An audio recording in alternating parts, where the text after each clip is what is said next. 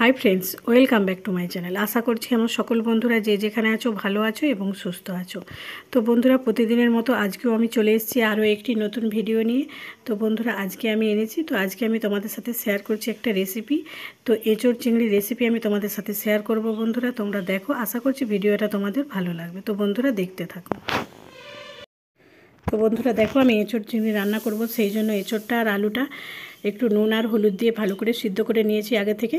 তো আর কি, মশলা সমস্ত কিছু রেডি করে নিয়েছি। তো এই যে চিংড়ি মাছগুলো আমি ধুয়ে পরিষ্কার করে নিয়েছি। তো এঁচোড় চিংড়ি রান্না করার জন্য যা যা মশলা লাগবে সমস্ত কিছু রেডি করে নিয়েছি।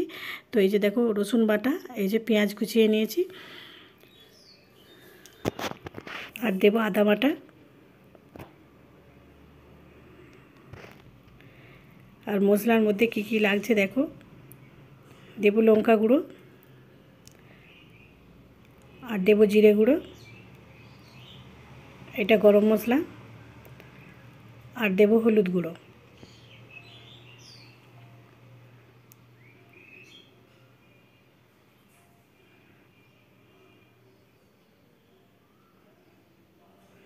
আর সামান্য ঘি দেব। আর কাঁচা লঙ্কা আমি চিড়ে নিয়েছি মাঝখান থেকে। আর গোটা গরম মশলা, কিছু এলাচের মুখগুলোকে একটু ফাটিয়ে নিয়েছি। আর ফোড়নে দেব তেজপাতা। পাঁচ ফোড়ন আর শুকনো লঙ্কা। আর এই যে আন্দাজ মতো নুন দেব। তো বন্ধুরা, রান্নাটা আজকে আমি সরষার তেলে করব। তো এই যে সরষার তেলও নিয়ে নিয়েছি। আর চিনি। তো চিনিটা হচ্ছে অপশনাল, তোমরা দিতেও পারো, নাও পারো।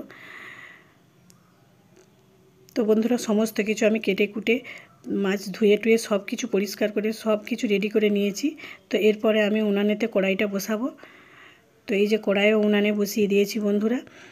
তো কড়াইটা গরম হয়ে গেলে ওতে দিয়ে দেবো সরষার তেল। তো তেলটা গরম হয়ে এলে প্রথমেই আমি মাছগুলোকে ভালো করে নুন, হলুদ মাখিয়ে ভেজে তুলে নেব।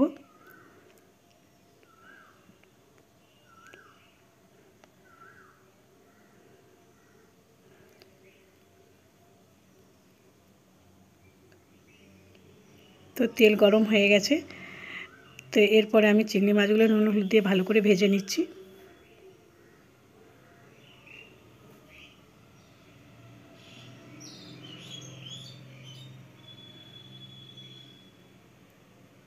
তো বন্ধুরা, চিংড়ি মাছগুলো আমার ভাজা হয়ে গেছে, তো আমি তুলে নিচ্ছি।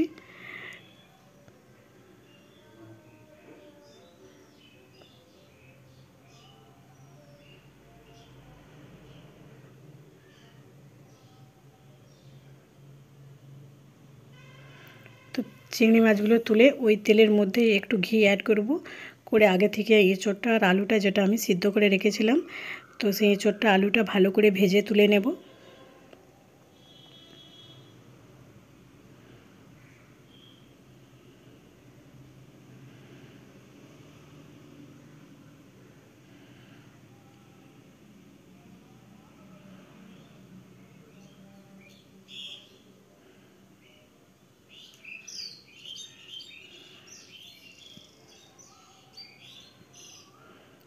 তো আমার এঁচোড় আলু ভাজা হয়ে গেছে, আমি তুলে নিয়েছি।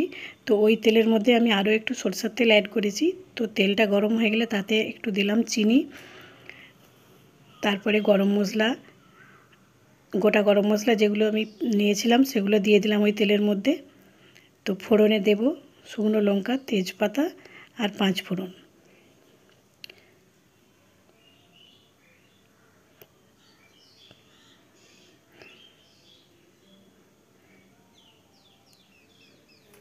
তো এরপরে আমি কড়াইতে দেব পেঁয়াজ। তো পেঁয়াজগুলো দিয়ে ভালো করে লাল লাল করে ভেজে নেব।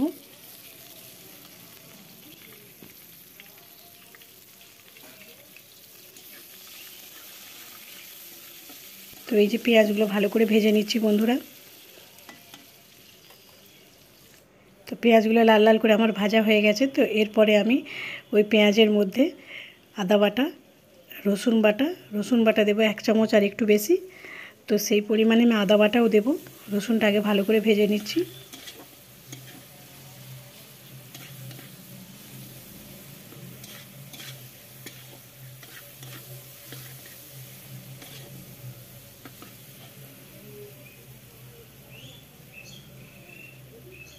এই যে আদা বাটা দিয়ে দিলাম। এক চামচ আর একটু দেব। আদা, রসুন আর পেঁয়াজ ভালো করে ভাজা হয়ে গেলে তো এরপরে আমি মশলা অ্যাড করব।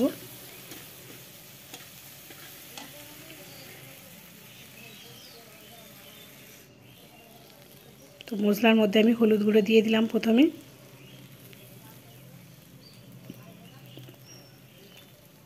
তারপরে দিয়ে দিলাম জিরে গুঁড়ো।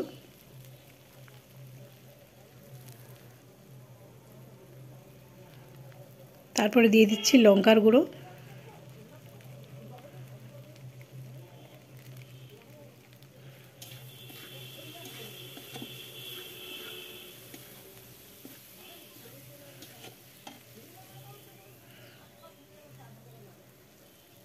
তারপরে দিলাম একটু গরম মশলা গুঁড়ো।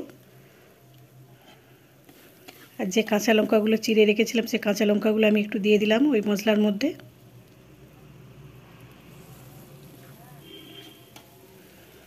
তো মশলাটা আমার কষানো হয়ে গেছে, তো এরপরে আমি আগে থেকে সিদ্ধ করে রেখেছিলাম যে ইঁচড়টা আর আলুটা ভালো করে ভেজেছিলাম। সেই ইঁচড় আর আলু এর মধ্যে দিয়ে দিলাম, দিয়ে ইঁচড় আলু মশলার সঙ্গে ভালো করে কষিয়ে নিচ্ছি। তো ইঁচড়টা আলুটা ভালো করে কষিয়ে নিয়ে এরপরে আমি জল দিয়ে দেব। যতটা প্রয়োজন মতো জল দেব।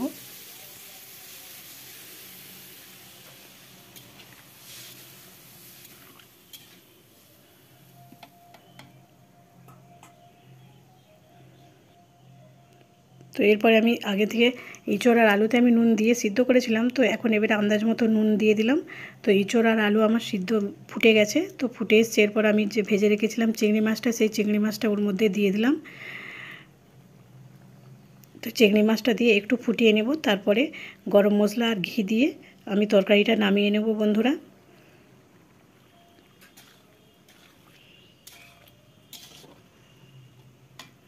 তো বন্ধুরা, আমার ইঁচড় চিংড়ি একদম রেডি হয়ে গেছে।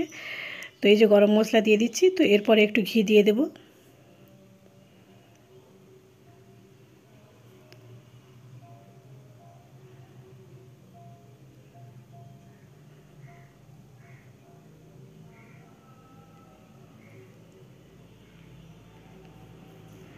এই যে অল্প একটু ঘি দিয়ে দিলাম। ঘি দিয়ে তরকারিটা আমার পুরো রেডি তো আমি এরপরে নামিয়ে নিচ্ছি বন্ধুরা।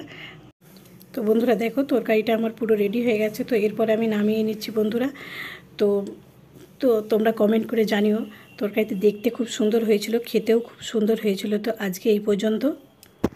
তো আজকে আমি ভিডিওটা এখানেই এন্ড করলাম বন্ধুরা। আশা করছি ভিডিওটা তোমাদের ভালো লাগবে।